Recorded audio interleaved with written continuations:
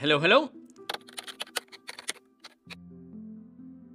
So, in this book called Did I Ever Tell You How Lucky You Are? uh, Dr. Seuss describes all kinds of terrible professions. There are many of them.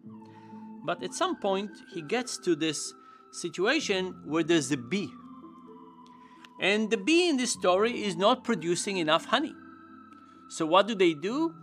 They assign somebody to be the bee watcher and that person his whole job is to watch the bee. But guess what?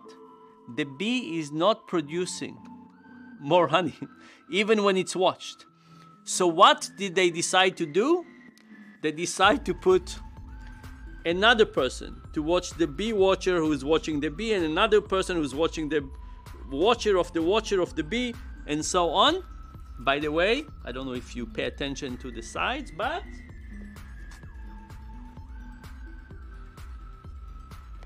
This is the original. This is the original picture. And for me, uh, this is a story of bureaucracy. We see a particular situation. The bee is not producing enough honey, and the first instinct is we need to watch it. We need to supervise it. That will certainly improve the situation. And when that doesn't work, rather than questioning our original assumption about more supervision and more control. We assign more supervision and more control and more and more and more and more. And by the way, in the story, it never it never worked. A bee never produced more more honey. Now think about this as a metaphor. Think about it as a metaphor for the modern workplace. Uh, we see somebody and they're just not producing as much as we think they're capable of. Uh, what is the right solution? Is the right solution to think about their intrinsic motivation? Or is the right solution to start controlling them to a higher degree, observing what they do, following their activities, making sure they don't misbehave?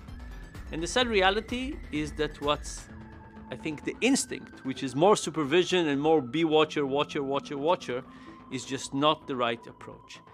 And until we drop it and start thinking about intrinsic motivation, and start thinking about how do we get people to want to produce, not have to produce, not because they're watched, but because they're interested, we're really not going to get a lot of progress.